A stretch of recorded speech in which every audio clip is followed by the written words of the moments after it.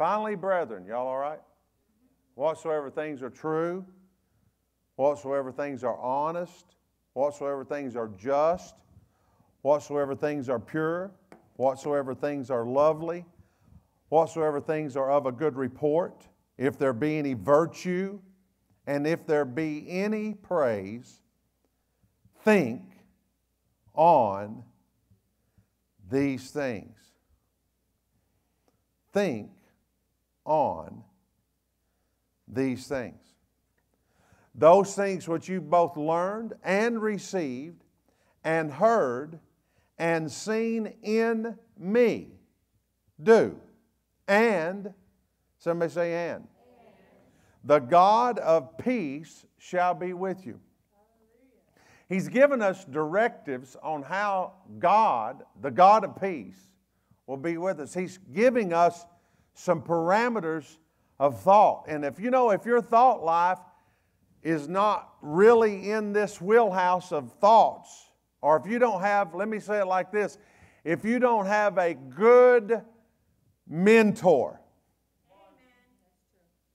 okay, leader, pastor, apostle, prophet, evangelist, teacher, church, if you don't have a, a good someone to learn from, because I, I know I needed help. I needed help. And, and I'll tell you this when I was in a certain denomination, I'm not going to say anything about it, I'm not talking about the denomination. I could have been raised anywhere and grew to the level of learning that was in that denomination. And then begin to evaluate the Word of God based upon what I was learning and say, what's missing? And say, okay, God, I, I see it in your Word. I don't see it in my life. I need to find someone who has that in their life so I can learn from them. Come on, somebody.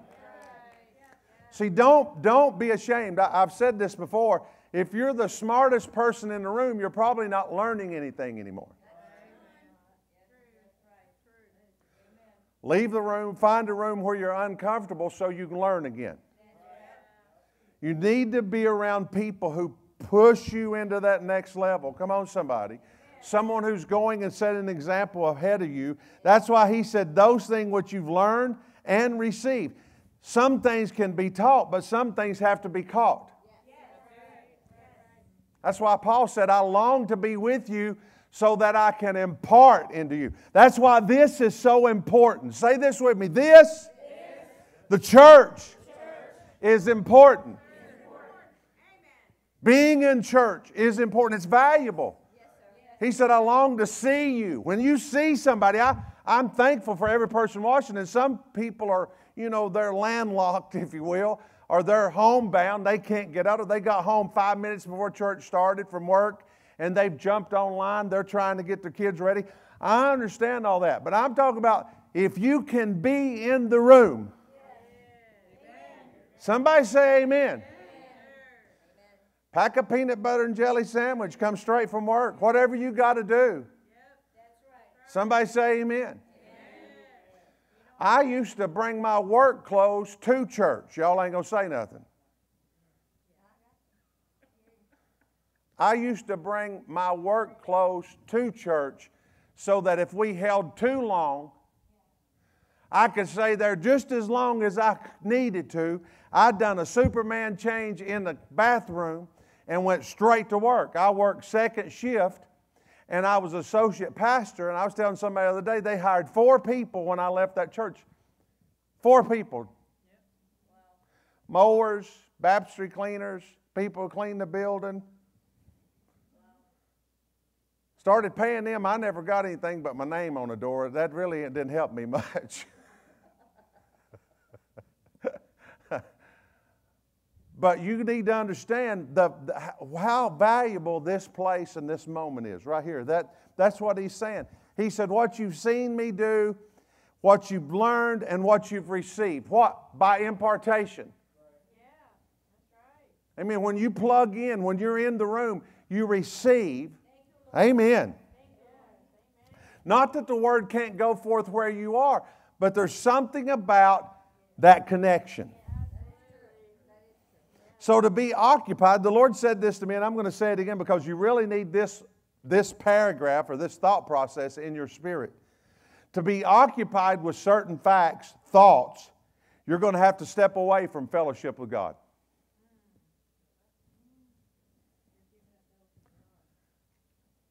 When you get, now when I say that, boy, that's just, there's just like a hush goes over this place. God is not going to stay in a place, y'all ain't going to say much. He's, he, he, when, you, when you entertain and you're occupied with certain facts or thoughts, you'll have to step away from fellowship with God. Why? Why? That's the word. The word is truth and the word is God. So if you're entertaining certain facts, you're not entertaining truth, and truth is the word of God. So when you're entertaining certain thoughts or certain facts, truth is outside of what you're entertaining. And what happens when we start entertaining certain thoughts? Their strongholds get developed. How many of you know God can't be tied up? So obviously, God's left the building. Casting down imaginations. Come on. Every high thing that exalts itself against the knowledge of God, right? We have to be willing to get these thoughts out of our life because it's ruling our life. It's reigning. Adam and Eve fell from a a place because of a thought. That was the beginning. The ending result was he got them out of the garden so they wouldn't eat from the tree of life, so they wouldn't live forever in an unredeemed state. I've said that before here years ago. But the, the reason why was they heard a suggestion. Did God say? Well, as soon as you begin to question what God's Word says, you step out of fellowship with God.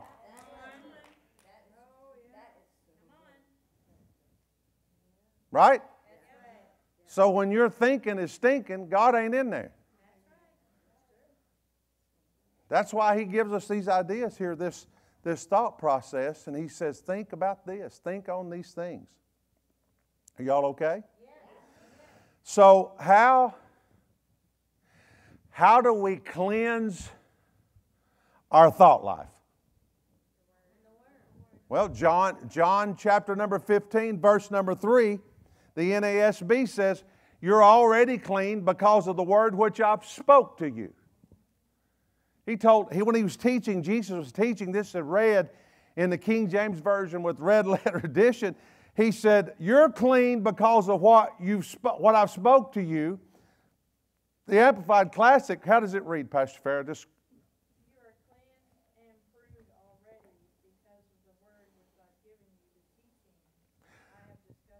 the teachings I have discussed with you. In other words, he's replacing. So the word, when you put the word in, or the teaching of the word of God, the truth of the word of God, you're not really forgetting other things, you're replacing things.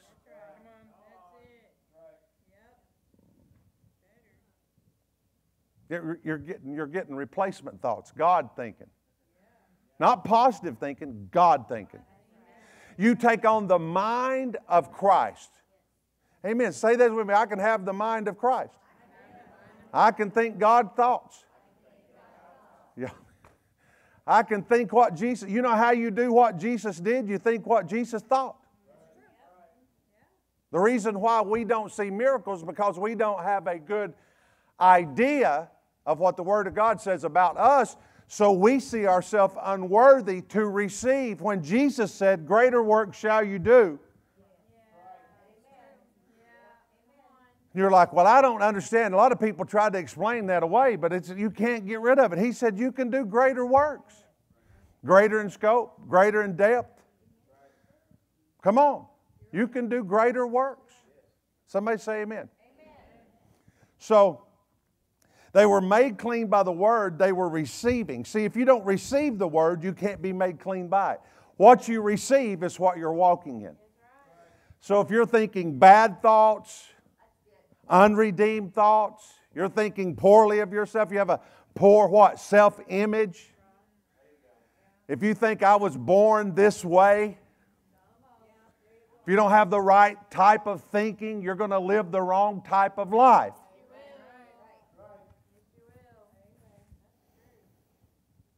You have to bring the truth to the facts, not the facts to the truth. You have to bring the truth to the facts. See, I don't, you can't live your life from facts to truth. You have to live your life from truth. How, what did he say? He said, Thy kingdom come, thy will be done in earth as it is in heaven. He said, I want you to start decreeing what's in heaven is in the earth. And I say it like this it's not just on the earth, it's in the earth. See, you got to get heaven minded and heaven inside of you before you're going to ever see heaven on the outside of you. Don't you know you're the temple of the Holy Ghost right now? It's Christ in you. The hope of glory already inside of us. We got different thinking. See, I can't think about who I was. Why? Because I'm a new creature. Well, things used to be. I, I don't want to hear about how things used to be. They're not that way.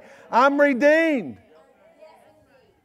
I had people walk. I was telling somebody today. They, they said, "Well, where you go church?" I told them where I went to church. What I told them where we got started. They said, "Well, I'm trying to think where church is." I said, "You in church?" Well, I'm the biggest sinner. I said, You ain't the biggest sinner.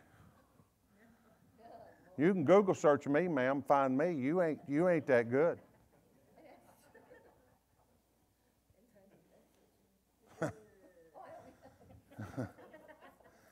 I said, she had a ticket thing, you know, where she's been running numbers. I said, if you was to pull mine up, it'd just keep going and roll down the driveway and out the out down down the street. The things I done wrong. I said, I've been redeemed. God saved me. I just reached up there and ripped that ticket thing off and threw it on the floor. She, I said, well, that's what he gives you. A fresh start. All that stuff's gone. A clean, come on, somebody. We got new stuff we're putting in now. Come on, somebody. We're not, we're not running on the old numbers, the old, come on, the way it added up before, it adds up different now. Look at neighbor say, We got new thinking.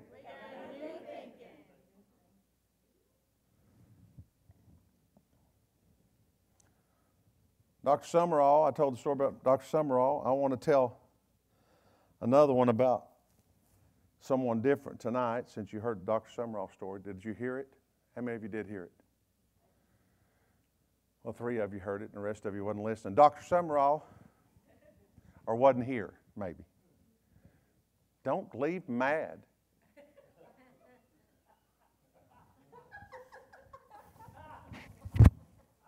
She ain't leaving. I just giving her a hard time. Dr. Sumrall uh, went to a nation. I, I, can't remember the nation. I can't remember. Indonesia. I believe that's where he was. Yeah. And uh, they, they had a lady there that was possessed. She had been attacked by a gang. And during this attack, her life just went downhill because she kept rehearsing that same thing over and over. So they took Dr. Sumrall to her, and he cast that demon out of her. And it was worldwide. I mean, everybody heard about it. But actually, I remember him telling the story one time. She jumped off the top of this, this chifforobe on him, she was bare naked. Chifforobes where you hang clothes. Uh, uh, anyway, that's all right. Anyway, it, it's like a wooden thing, and she was up on top of that thing. He said that he come through the door, and she was up on top of it and dove off on him, bare naked. He said, I cast the devil out of her. Some of you looking at me like, wow, this is crazy. Chifforobe, yeah. Shifra. Everybody had one. Like, a, uh, what was that? What was that wardrobe closet? You know, wardrobe. Like a who? There ain't not one of y'all can spell armoire.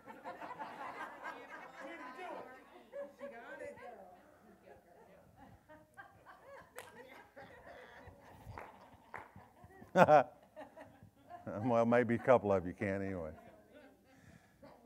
But she got she got she, the devil got cast out of her. And look, the newspapers and media, and she started living right, going church, lived her life for a long time.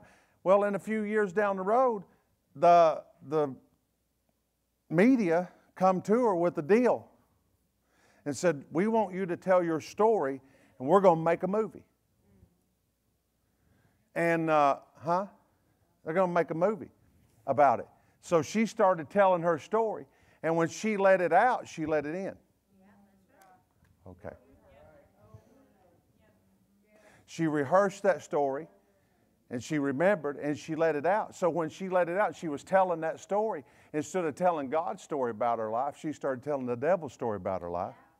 And before you know it, they called Lester Sumrall back and said, She's possessed again. Well, the more she told the story, the stronger it got. And before you know it, she'd lost everything. She was possessed by a demon. And he, he asked one question. He said, What's she doing? They said, She's telling the story. He said, Tell her to quit telling the story. Tell her to go back. Come on, somebody. Go back to start telling the story about what God said about you. Y'all telling the wrong story. Y'all, y'all telling the wrong story. Every time you, I just need to tell it. You don't need to tell it. You, you want sympathy. And sympathy's not taking you out of anywhere. Well, or you say this down south, we like to say it like this. Well, I just want to tell you this so you can be praying. That's a lie. You're a gossip and you know it. You ain't even prayed for them before you told the story to who you're telling it to. Oh, it's getting loud in here now. okay, I'm going to back up over here. I'm concerned.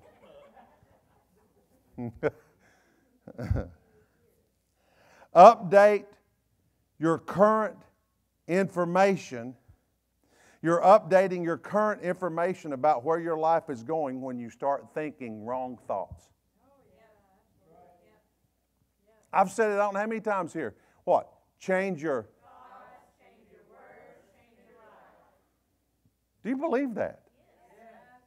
Seriously, I mean, do you believe that that's true? Then why aren't we doing that?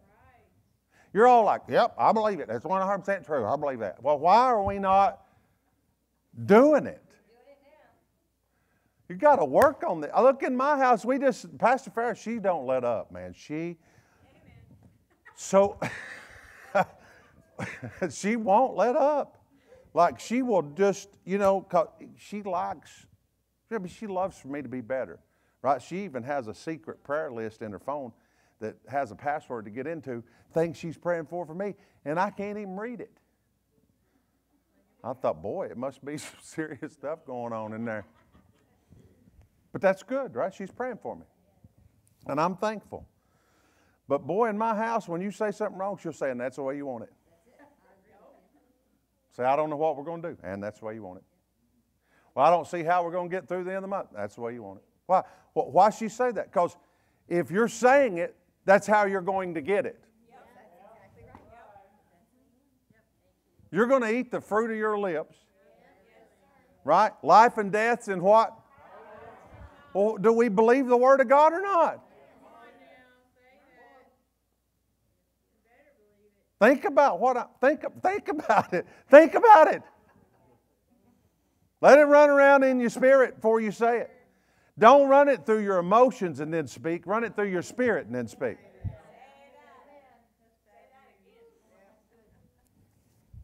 Now, everybody that knows me from back in the day knows this about me. If I'm smiling, somebody's about to get whipped. Nothing excited me more. I never said a word. I'd just be walking at them like, this is going to be so much fun. It's true. And then that fight be over. They'd be knocked out or whatever, laying on the ground.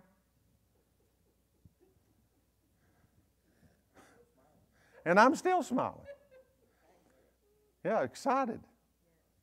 They'd just be yak, yak, yak, yak, yak. And I'm like, you're wasting your energy and your breath. You're going to need that in a minute.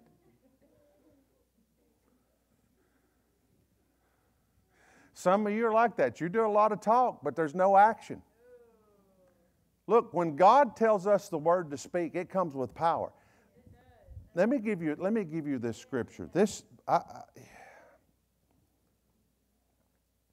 I'm, I'm going to go slow. Never attend. I, I said this the other day out of Proverbs 4:20. You can go back read it. I'm not going to read it all, but he said, "My son, attend to my words. Pay attention to my words. Never attend, never attend more to other people's words or words above God's word." I don't care what it is, a good report, bad report. If it don't line up, don't receive it. Don't say you understand to somebody who says something stupid.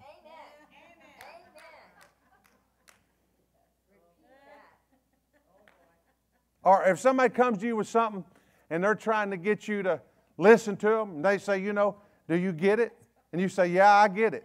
Then yeah, now you're agreeing with it. Don't, don't agree with a fool in his folly. Before you know it, you'll be agreeing with somebody. The blind can't lead the blind. You got to have somebody to see. You just stand there and look at them and go, Well, we'll be praying about that. If I ever answer you when you say something really dumb and I say, you know what, I'm going to be praying about that for you, then you know you just said something really dumb. Pastor Farrah's secret's going down the road.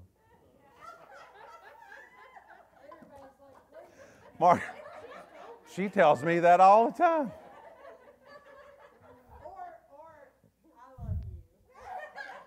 I love you. I just want you to know I love you. I pray. for you. Go home. Did you just get that text? there you go. Now you know. Yeah. Don't look, look, I'm trying to get you to think about what you're in agreement with. Think about it. Seriously. You can't be coming into agreement with people on stuff that's going to kill them. Dr. Hahn, Dr. Hahn, Dr. Hahn, Dr. Hahn. Y'all remember the story of Dr. Hahn? Dr. Hahn, I go to the hospital every time I go to the hospital, you know, I go for a checkup, VA, go wherever I go, you know. And, you know, I'm not, you know, I, am not saying I ain't never been doctor, but I go doctor and they hand you that form and it's got everything you can agree with that runs in your family. I don't check a box. I don't check not one box. I never have. Ever since I understood faith and understood the power of agreement, I don't check boxes that I'm trying to get something into my life for. Well, how many people die in your family of heart disease? Well, my mom and my grandma, and my, you know, and I start checking boxes, and I'm coming into agreement that this runs. Y'all gonna say anything? This runs in my family. Well, I'm not in that family now. I've had a blood transfusion I've got a heavenly Father. Come on, somebody. I got new blood. I, I tell the doctor this. They say, You didn't check any boxes. You don't have any. No, I don't have any allergies.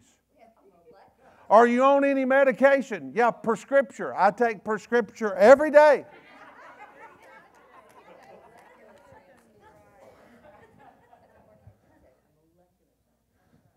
They, they, they come in there.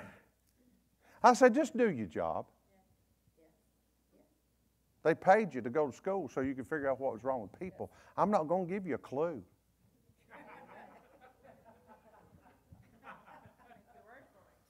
I'm going to make you work for it. Somebody's going to have to pay you a lot of money get to work. Right? So Dr. Hahn comes in there after she runs some tests. She come in and she said, Well, uh, I, she's ch- Chinese, so you have to forgive me. My Chinese, I, I like doing it. It's, I think it's funny. Oh, I, you, you got a high blood pressure. I write you a prescription for blood pressure medication. I said, I don't need it. Oh, she's sitting like over at a desk, and I'm right there up on the table, you know. She's typing, them little fingers is wide open. She looks up and said, Oh, you don't want medication? I said, No, ma'am. Okay uh, your, your, di- uh, your sugar levels, I'm going to give you some diabetic medication, you know, you need. I said, I don't want that. You don't want. Now she's getting a little bit more frustrated, like, you don't want. I said, no, ma'am. She said, uh, why you come see me? I said, So I know how to pray. I got to bring some truth to these facts.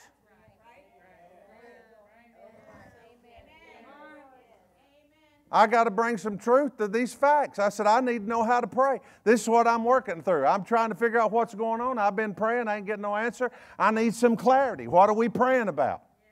I, I speak to high blood pressure. I declare it comes down in the name of Jesus. I say my come on, I say, come on, I say my sugar levels are right in the name of Jesus. Why you come see me? That's the funniest. I love it because now I can preach from there. You know, when you live that way,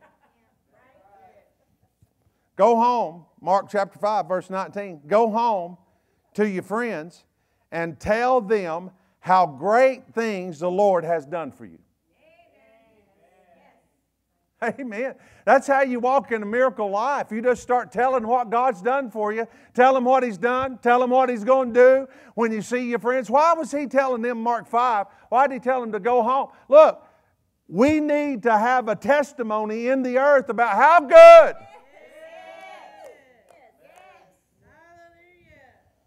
He does great things. Whatsoever you ask in my name, that will I do, that the Father may be glorified in the Son. John 14, 13. It is of the Lord's mercies that we are not consumed, because his compassion fails not. They're new every morning. Great is thy faithfulness. Somebody say amen.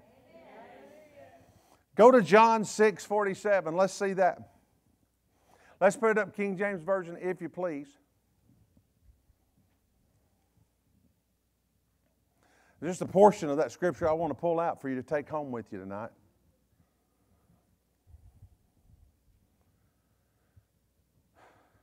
He that believeth on me hath. He that believeth on me hath. Say it again. He that believeth on me hath. I'm not trying to get it, I got it. I, I said, I'm not trying to get it, I got it. I'm not going to get it. It's not going to show up someday. We're not going to have it in the sweet by and by. No, I have it right now. You say you believe in eternal life? Absolutely. We're going to live forever somewhere. You got two choices after you die smoking or non smoking. That's the two choices you got. I'm going to non smoking. Amen. So he said, Verily, verily, I say unto you, he that believeth on me has everlasting life. So he's saying, Look, once you set your believer in motion, you have what you believe in for. Say unto this mountain, Whosoever shall what? Say unto this mountain. Whoever what? Believes that those things, Mark 11, 22 through 26, whoever believes that those things which he saith shall what? Have whatsoever he says. Kenneth Hagin said there's a three to one ratio. Say, say, say. Say, 11, 22 through 26. It says say three times. How many of you know saying's important? Anytime you run at your giant, don't run at your giant with your mouth closed. Tell it what's going to happen. I'm going to take your head off today. Today, the fowls are going to be eating your carcass. Come on. You got to look at your mountain and you got to tell your mountain today. Come on, somebody. You got to start speaking to that thing. Believing is having, it's possession. What it means to believe. It's possible for us to learn the key of believing. Again, the word believe is a verb, the word faith is a noun. Believing, therefore, is the verb of faith. It's to act. You can't believe without acting. There's a law that governs believing. What's that law? Out of your belly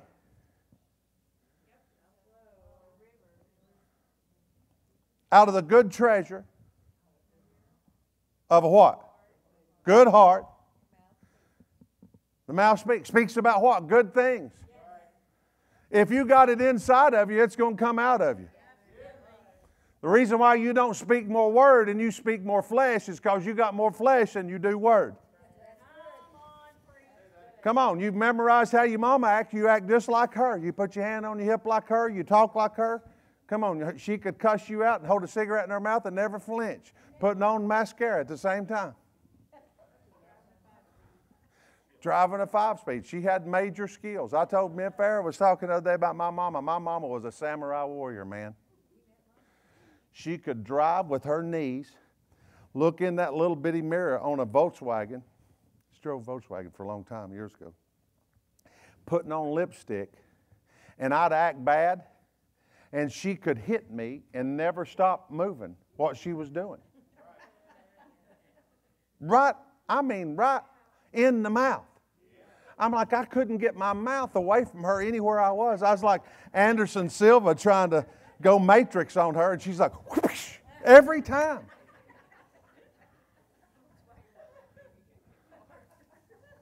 She was something else. she is awesome.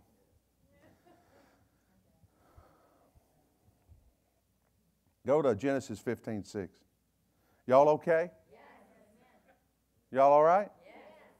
I mean, you, you, you already sacrificed and come all this way. We might as well get something out of it. Right? We might as well get something out of it. Like, I don't know how much they pay me exactly. My wife could tell you exactly what I make, but I, I know surely it's worth me being here another 30 minutes, ain't it? Thank you, Pastor Fair. Genesis 15 6. And he and Abraham believed in the Lord, and he counted it to him for righteousness. As soon as he believed, he was righteous. The Lord counted his belief. Belief for him was an action. He had to what? Leave, go to a place I'm going to tell you as you go. Sounds like being led by the Spirit of God. That's why Abraham was a father of faith. He was going, come on, somebody, as he was being led. Come on. And many of us need to understand tonight we got to take the word that God has. We got to believe God now, and God's going to count it to us right now in this moment as we already have it. As soon as you start putting your faith out there for your harvest, God already says you have your harvest. Here's the word believe means to support, be established, to stand firm. Abraham made an unqualified committal to God. He abandoned himself utterly to God. He gave up all, and he had no other help. I was preaching years ago, and I was preaching faith like this, and this person, I, I knew when they did it, they didn't have the faith to do it. Sometimes you can take a faith step that you ain't prepared to take. Lester Sumrall said, "Don't be believing, don't be believing for an airplane when you ain't got enough faith to get a bicycle. Learn how to take steps of faith, walk by faith, learn how to live by faith. Start believing God for the things, believe Him for a parking place. Amen. We, we believe God for parking places all the time. Every time I get it, you know what I say? There's the favor of the Lord. Lord, keep me from idiots today as I walk through the valley of Walmart.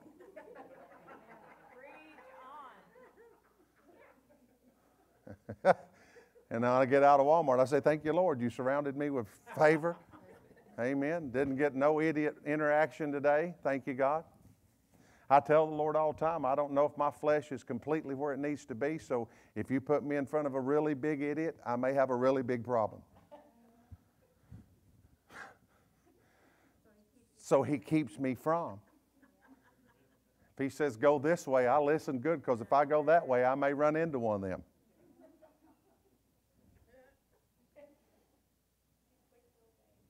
Got to. Well, I'm telling you, in this day and time, you got to pray just to make it today.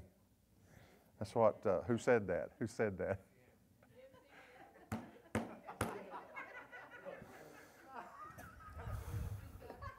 I knew somebody had it, so I was going to ask, you know.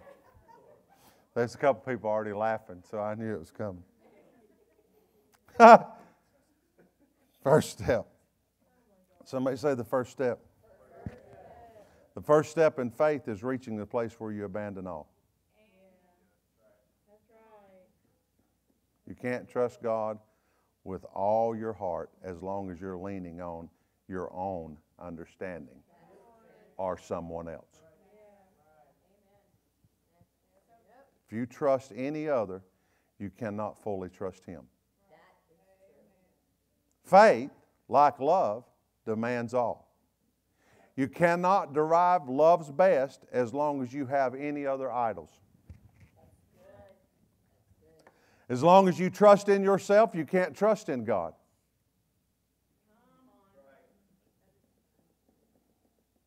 Me and Pastor Fair have been battling this same battle for two years and running in this church. We, me and her, J- JCM has faced two giants two years running now where we've had to step into what we could do to make something happen.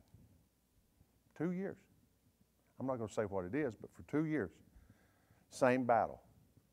We've lost it two times. I told the Lord today, I said, Lord, we got a, a while before this comes back up. Are you going to show me between here and there how to whip this giant? Do I need to work on this sling? I'm going to have to whip a bear. Y'all ain't to. Don't get, mad, don't get mad about not whipping that giant. Go back to the bear. Rehearse your victories. Come on, somebody. Start, start rehearsing your victories. Thank God that we've won what we've won. Thank God we've done what we've done. Thank God we've made it where we made it. Now, God, show us how to face what we're facing. The Lord told me today when I was thinking about this, He said, You know what David asked? This is what David asked. Said, What are you going to get? Think about that. He said, what, What's the person going to get? He was saying, What's the harvest for this battle I'm facing? Well, you're going to have victory, and this nation's going to have victory. You ain't going to pay taxes, and you get to marry this gal, decent gal. At the time, I think she changed. But you know, he, he had in mind the victory that was coming. He put his faith out there for the promise. Come on, somebody. I've already got my faith out for the promise. For the next time this battle comes, I've got my faith out there already that I'm going to win this victory. Amen. Amen. And that's what you got to do. That's what you got to do. The first step in faith is where, that, where you abandon all. Faith, like love, demands all. You can't not derive love's best as long as you have any other idol. As long as you trust in yourself, you can't trust in God. As long as you are looking elsewhere for help, you're not trusting the Lord. Absolutely. The law of trust is utter abandonment. So Lord, the Lord told me what I did wrong. You know, I share my whole life with you guys. I'm very open. So there was an opportunity came up, and I took the opportunity and I put it back in fear that I wouldn't have it. Okay. Instead of stepping, instead of staying in faith, I took an opportunity and I folded it up and put it in a covenant book. Think about this. Think about what I'm saying. As soon as you step out of faith, you step into fear. And you're going to reap the results. So, so I'm learning. If I'm going to learn and go through something and pay for it, I think I ought to tell you so you don't have to pay for it. Does that make sense to anybody? As long as you're always, you know, thinking what you can do or how you can do or you're always planning, you're going to get your plans. But once you really get in faith, all right, let's move on. I tell I'm. Belief is the ability to say that wholeheartedly with no mental reservation. Belief is the ability to say, I live, yet not I, but Christ lives in me. Galatians 2:20. Then God can act. Trust in the Lord with all your heart. Proverbs 3. Lean not on your own understanding. In all your ways acknowledge him, and he shall what? Direct your path.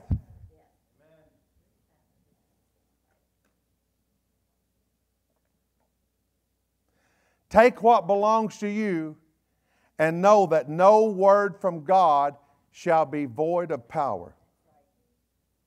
Who's believed our report? Isaiah 53 1. Whose report will you believe? Isaiah asks, in effect, whose report do you believe? We choose to believe the Lord's good report. We learn to trust God and believe His word even in the midst of challenging circumstances. Amen.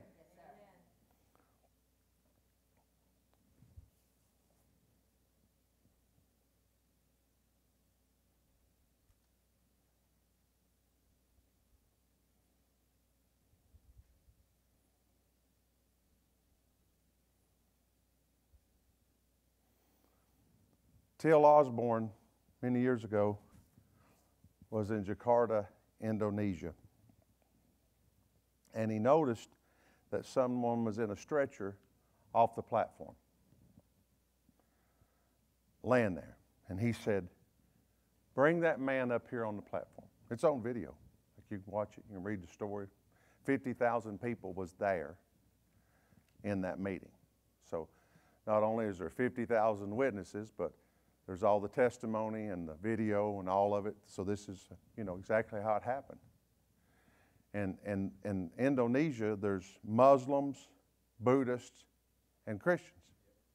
And T.L. Osborn knew that that was the strong, strong man in that area, Buddhist and, and Muslims. So he said, All right, bring him up here. This is what we're going to do. He said, We're going to pray in the name of Buddha.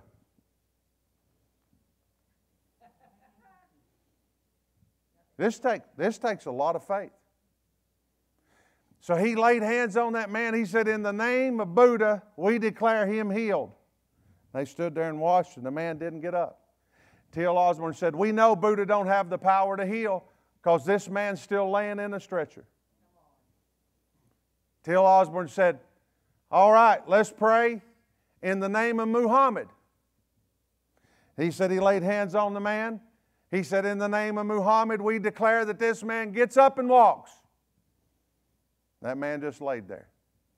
He said, He said, Well, it's obvious that this man is not up and walking, and Muhammad doesn't have the power to heal. He said, Now, everybody get your faith with mine in the name of Jesus. See, he set his faith on a mark, and everybody there was watching intently and he laid hands on this man and he said, In the name of Jesus Christ, I command you to rise up and walk. That man got straight up out of that stretcher.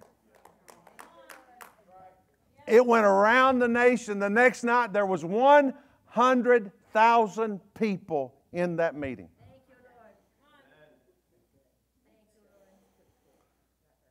Now, are we operating by faith? Well, we're learning. I said, and we're, and we're growing.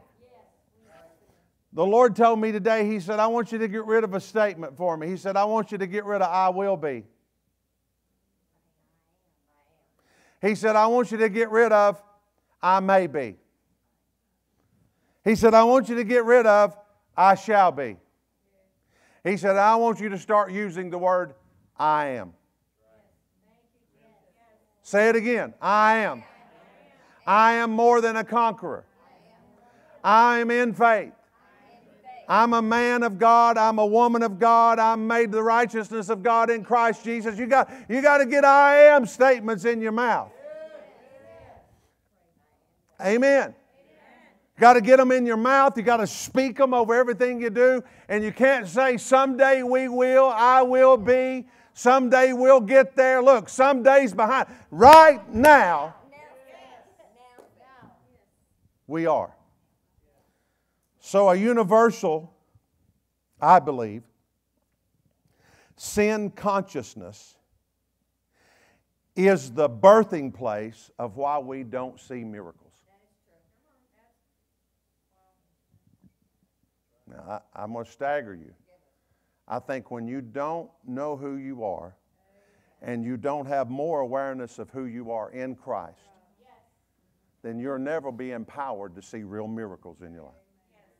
Because you're sin conscious, you're, you're, you're driven by who you were. It, and, and believe it or not, sin consciousness is the parent of most religions in the earth. People have sought to rid themselves of guilt and sin the fear of the spirit of evil that dominates the atmosphere of this world. The sin consciousness was born at the fall. It was manifested in Adam's fear to cover his nakedness. The revelation of God and the development of that revelation have been to one end to restore righteousness to mankind. The meaning of righteousness in this sense is the ability to stand in the presence of God without a sense of sin, guilt, or inferiority. He created us in His image. Now, this is, this is beyond most people's teaching here. We're, we're trying to say that, that, just like Bill Winston said, I love what he said. He said, The angels, the day God created man, went. For a moment, till God spoke again, they didn't know which one he was.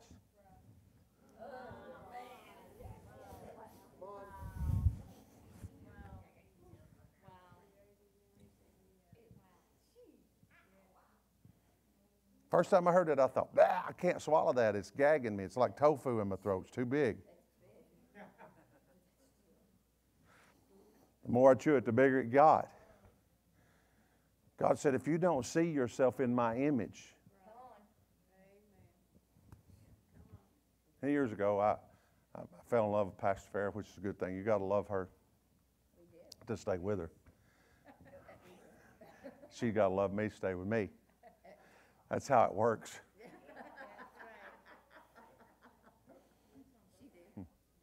it works on both sides.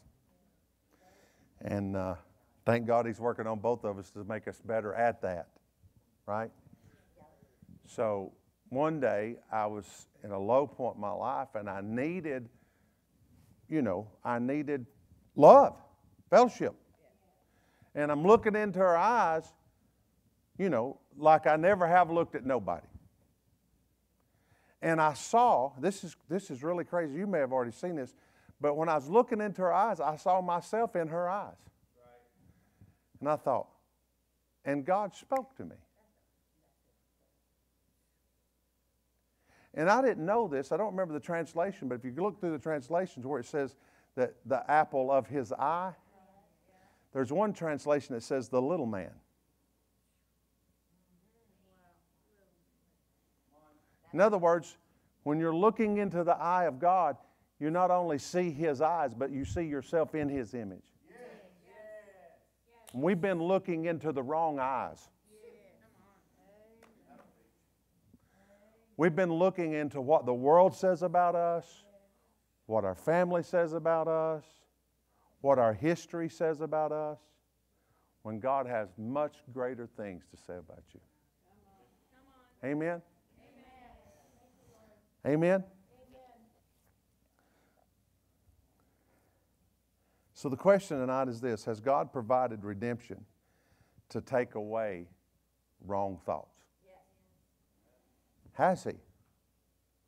Has God provided, according to His Word, and His, His Son Jesus, what He did on the cross of Calvary, has it, has it been enough to take away wrong thinking, sin consciousness, and permit mankind to return to His presence and remain there?